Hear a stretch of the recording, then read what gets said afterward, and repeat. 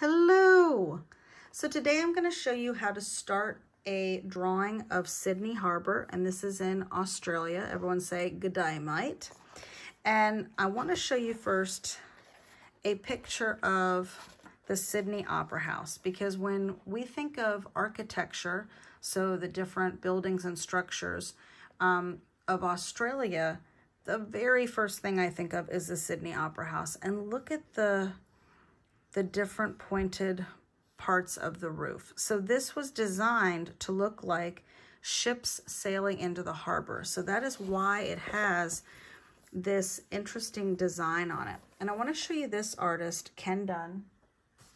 And Ken Done loved to paint a lot of these kind of city scenes in Australia, and he is very, very popular there. And look at all the different colors he uses. So when we're making our drawing today, I'm going to show you how to start it, but you really get to interpret how you want to make the picture, just like Ken Done kind of interpreted his own colors. Look at all these little dashed lines in the water showing all that movement. How would you describe this day that is going on? So look here, Done's work is brightly colored, busy, and fun. Doesn't this look busy? So to me, uh, my first thought is this weather must be beautiful. Blue skies, sunny skies, it must feel great because everybody is out on their boats in the harbor. And then you have the Sydney Bridge in the background. So these are kind of the two things we're going to focus on in this picture. So this will be an inspiration, but like I said, you're going to you're going to make it your own. Now, what I recommend is looking at pictures. If you search Sydney Harbor, you can see different pictures. Oh, you know what? I'm going to flip it to the front of the book because there it is. This is uh, Artists of the World Cities. So you can look at different pictures of the harbor and get your own idea of how you want to make your picture. So basically what I'm going to start with is I'm going to start with the bridge. I'm going to include the Sydney Opera House. You can interpret what's going to be on the water and the buildings, but I'll show you some ways to draw that. So I'm going to start with the two sort of bases of my bridge. And I'm just going to make two beginnings of rectangles and a little mini rectangle on top. Then I'm going to be connecting this with an archway and I'm going to keep it real simple. Now I'm starting with Sharpie, but of course um, use pencil so if you make any mistakes you can erase it. But what I love about his work too is it's not perfectly drawn. It's not or perfectly painted. It's not supposed to look like a you know, a photograph of it. So we're just using the lines and shapes of this harbor and then we can kind of change it up on our own. So I've got this sort of archway and then I'm going to have my line going across. So pretty simple actually. Um, and then you can go in and like, let me see if I have my little little base here. You've got these lines going down. Now I'm making these all just thin lines because I am using the Sharpie, but you could make them like if you wanted to go in and make them thick because then you could add some color to it. I think that would look really nice. And then look at this wonderful zigzag line. So I think I, I will make kind of a little base because I think this would be fun um, to be able to have that color in there. How would the color change the scene? If I did this whole picture, here's my zigzag line. If I did this whole scene in blues, purples, greens, kind of cool colors. How would that change how it feels? So there's the beginning of my bridge. That just looks like a fun design, doesn't it? So there's there's that, and I'm to draw the base here. And you can see there's little, looks like palm trees on there.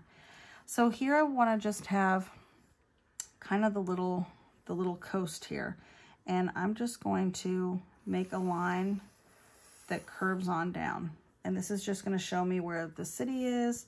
And then here's where I'm going to have the opera house. So I'm going to just make a line coming out. So the opera house is sticking out into the harbor. I'm going to give it a little base like this. And then I'm going to figure out how I'm going to do the sails. So I'm going to make this look a little bit different than this picture. If you wanted to do it simple like this, you could. So I'm going to start off with a little kind of a little mountain and put a line down the middle. I'm just starting with one at a time. So this is going to be my first sail. I'm going to go up and curve it, and I'm going to come down. And then I'm just going to make that a little bit thicker here, like a little shadow. Then I'm to do the next one coming out. And this kind of angled out this way a little bit more and down. Again, this is the part where I really recommend go look up pictures. Figure out how you want to make it. And you can look up um, how other artists have done this. I might just make a little piece right here. So there's just some of these, the little sails coming out. See how I just have sort of a zigzag line? I'm liking how I have these different zigzag lines in here. And I'm going to come out like this. Almost looks like a shark fin. And I'm going to make this black in here. I'm going to do one more above this one and then one more to the side. And just one more down here. How cool to see, to, to visit this building. So that looks a lot more complicated than that. So you, but you can change it up. They've got little stripes here. So I'll just put some little kind of stripes to show the difference in there. Okay, then I'm going to draw a line over like this. So now I basically have, here is sort of like the entrance. This is all the harbor. This is where you get to fill it in with different boats. Maybe you're going to have a scene where things are, maybe there's um, a sailboat race and you're going to show that in your picture. Maybe you're going to have different yachts or cruise ships coming in. Just remember as you go further back here, things will look a little bit smaller because they are further away, right? So if I had a little, you know, little sailboats back here, and you can do them real simple, you know, just make these little triangles.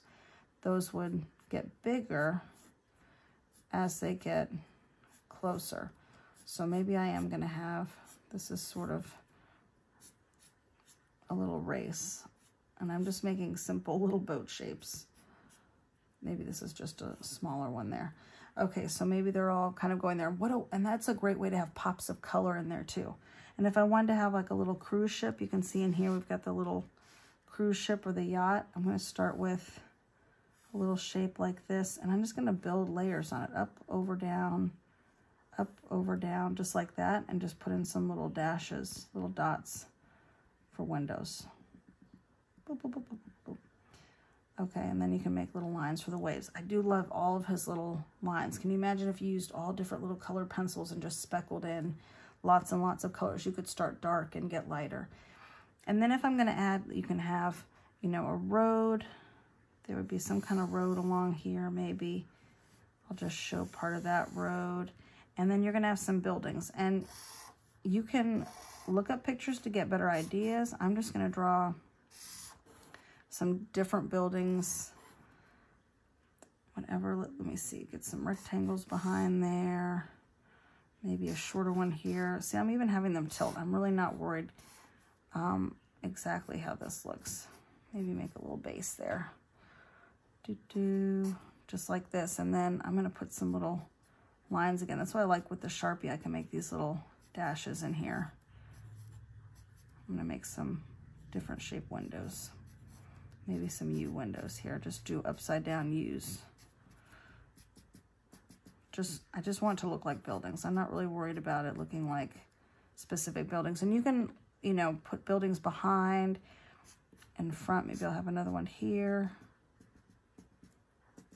Okay, maybe this is gonna have some different lines in here. Really think about line and shape and repeating different lines and shapes to make patterns and think about it more um, in that way than making it look exactly like something. So there's some buildings. So really, it's looking like the harbor, right? And I can add some other um, details in here. Now this is further away, so what's nice is when things are further away, I'm just gonna put some little lines you have less detail, so you don't have to worry about it looking exact.